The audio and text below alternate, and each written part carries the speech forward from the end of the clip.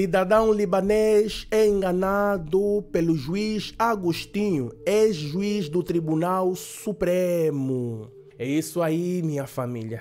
O biolo existente nesse país aqui está a dar medo. Até os juízes, hein, que andam aí a condenar as pessoas, é, também estão embora burlar, estão embora enganar os outros. Atualmente, este mesmo juiz epa, foi expulso, exonerado, lhe tiraram do Tribunal Supremo.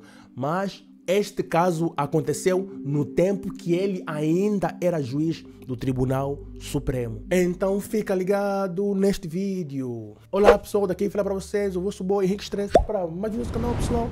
Quem não está inscrito, subscreva no canal deixe o vosso like porque é muito importantíssimo. E ativa você não vai perder nenhum vídeo. Qual é o teu próximo destino? Brasil? França? Portugal? Holanda? Alemanha? Minha família, estou aqui para lhe apresentar a melhor solução. A agência Voltas Travel será a sua solução para as tuas viagens. Contacta agora mesmo a agência nesses terminais que estão aí na tela. Eles tratam visto de saúde, de trabalho, turismo, estudante e tudo, minha família. E além disso, se você tiver dificuldade em tratar a tua nacionalidade ou residência em Portugal, eles também vão te ajudar a tratar isso, minha família. A agência está localizada na rua Rodrigues de Miranda, bairro Nelito Maculusso. E se você contactar a agência em meu nome, você vai receber um bom desconto, minha família. Um libanês que veio em Angola para investir foi burlado, enganado por um juiz do Tribunal Supremo. No princípio, quando o libanês chegou, epa, parecia que tudo estava certo, parecia que conheceu as pessoas certas para epa, dar sequência ao seu negócio. Primeiramente, ele solicitou uma licença ao Ministério da Indústria para abrir uma fábrica em Angola uma fábrica de reciclagem de sucatas para a matéria prima. Começou epa, a procurar um espaço né, onde podia instalar lá a sua fábrica e encontrou um espaço. E este espaço era supostamente do juiz Agostinho Antônio Santos, que trabalhava no Tribunal Supremo no 11º andar. E, naquela altura, o seu diretor de gabinete era o senhor Hildo Piedade. E foi o seu diretor de gabinete que fez um contrato comercial e o contrato foi assinado pelo juiz Agostinho Antônio Santos. Uh, sou estrangeiro, uh, cidadão estrangeiro. Estou aqui há muitos anos uh, na Tarangula. eu estou aqui, cheguei para investir Uh, vou entrar diretamente uh, no meu caso. Eu, uh, anos atrás, eu fiz uma fábrica reciclagem de sucata, que é transformar sucata para matéria-prima. importei todas as máquinas, o, o materiais, tudo de fora para aqui. eu com o gerador, tudo, tudo, tudo, tudo para a fábrica. A fábrica foi instalada uh, num espaço em Viena. O dono do espaço se chama Antônio Agostinho Santos. Ele é juiz no Tribunal Supremo. Uh, ele fez um contrato comercial para mim. Ele ele próprio que assinou o contrato. Não sei, eu não sabia mesmo que como ele é funcionário público não pode assinar, mas ele assinou próprio um contrato comercial para mim, é, porque ele tem uma empresa e tem sócios eh, dentro da empresa dele, mas ele tem quase 90% dentro do, do, da empresa dele. Pronto, uh, eu terminei a instalação todo, gastei quase 400 mil dólares americanos, só que depois do vários encontros lá com a ministra, era a doutora Bernarda, a ministra do, da Indústria, confirmou para mim que no lei não tem nenhum problema utilizado para fazer esse tipo de negócio. Então, terminei o assunto todo. Até já tenho quase 40, 40 funcionários nacionais uh, que já começaram a trabalhar comigo, a, a, fazer provas, tudo isso, até o licenças uh, ficam prontas. Só que por, uh, por mal sorte que não recebi, não consegui fazer o, as licenças, não sei porquê. Entrei, saiu, entrei, saiu muitas e muitas, falei com muita gente, não sei aonde está bloqueado.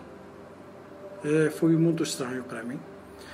Eh, porque acho que porque sou estrangeiro também não não conheço também pessoas do alto nível para me ajudar nisso. Não sei.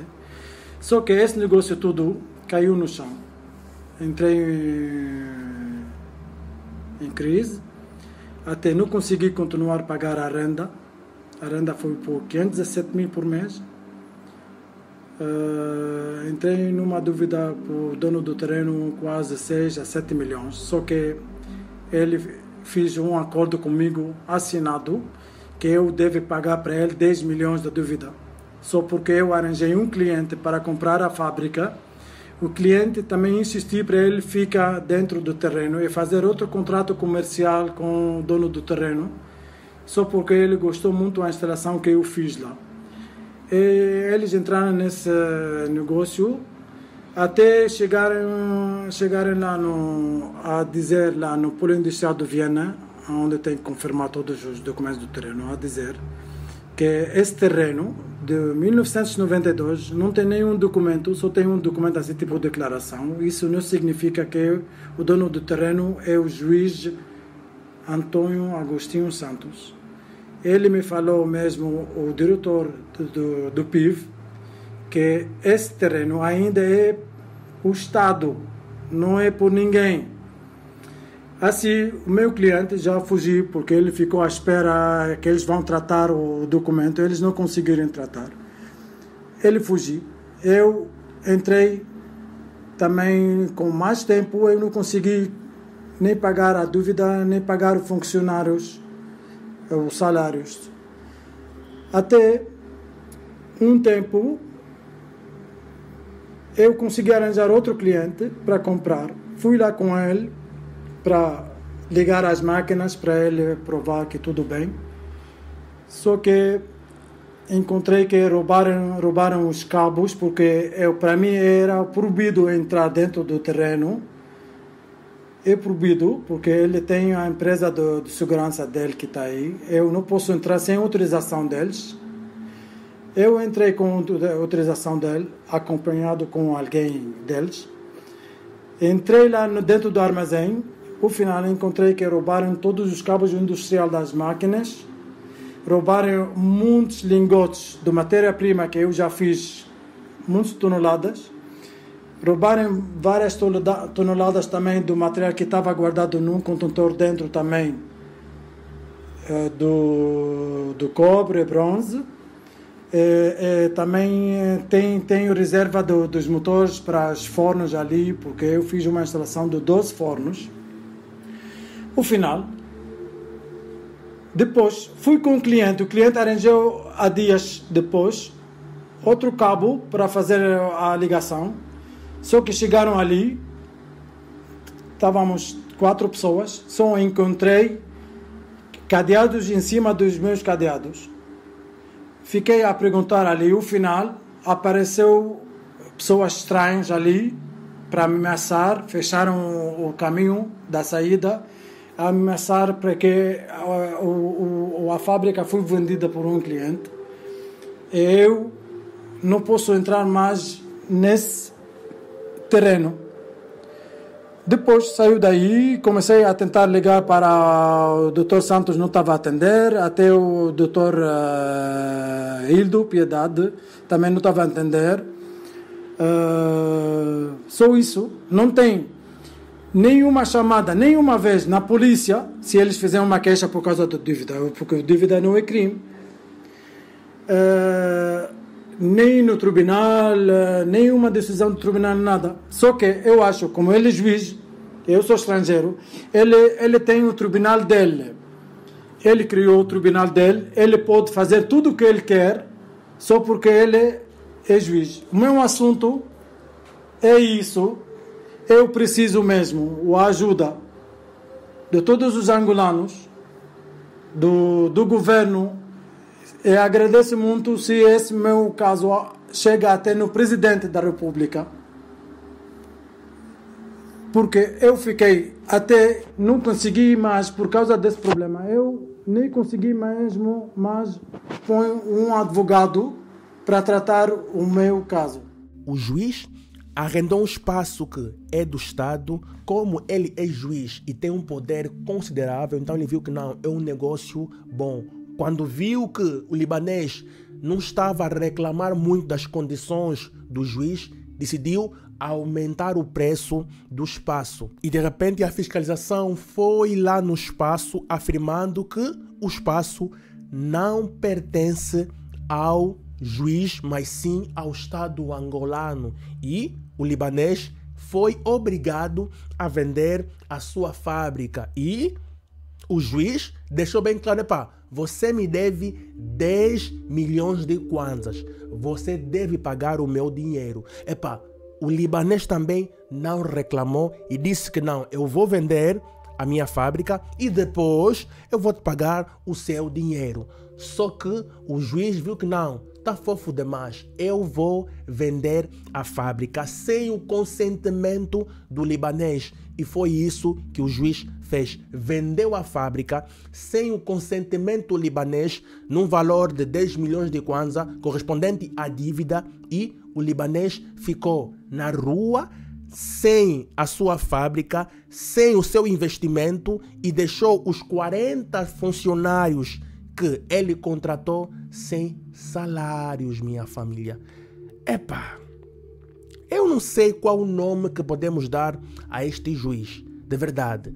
Eu acho que juiz são pessoas do bem, são pessoas que resolvem problemas, não são pessoas que criam problemas, minha família. Parece que o negócio dele mesmo aí é destruir vida das pessoas. Quer dizer, o que ele mais quer é lucrar e não importa quem ele vai ferir. Então, você vai vender uma fábrica que uh, o investimento custou mais de 370 mil dólares a 10 milhões de kwanza sem o consentimento do próprio dono da fábrica. Isso mesmo é normal mesmo. Quer dizer, todo o cumbu que o libanês trouxe para investir no país acabou. O libanês nem consegue contratar um advogado para lutar nesta causa. O libanês está a pedir ajuda às autoridades angolanas.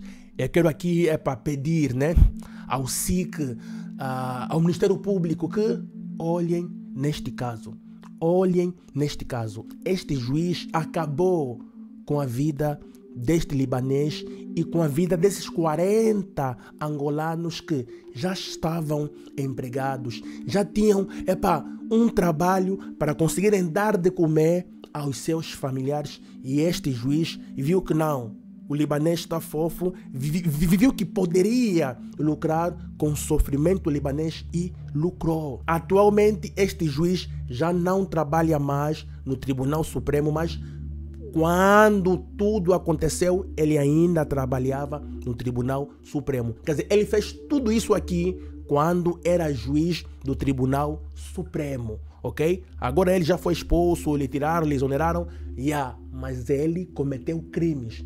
E o SIC não pode deixar este caso passar assim do nada, ok? O juiz se aproveitou do libanês vendeu a sua fábrica, vendeu todo o equipamento do, do libanês que custou mais de 370 a, a, a, mil dólares e ficou com todo o dinheiro. Não deu nada do libanês. Quer dizer, o juiz cometeu muitos crimes. Só o facto dele alugar um espaço que não lhe pertence é do Estado já é crime. Ok? Só o fato de enganar o libanês, vender a sua fábrica sem o consentimento libanês, já é crime. Então, minha família, por favor, partilhem este vídeo em massa para mais pessoas terem acesso a esta informação, para este caso ser solucionado. Não é esses tipos de juízes que nós queremos. Se você gostou deste vídeo de Born, deixe o like, comente, partilha para mais pessoas terem acesso a esta informação. Que Deus abençoe Angola e abençoa estamos a agora. Ficamos por aqui, família.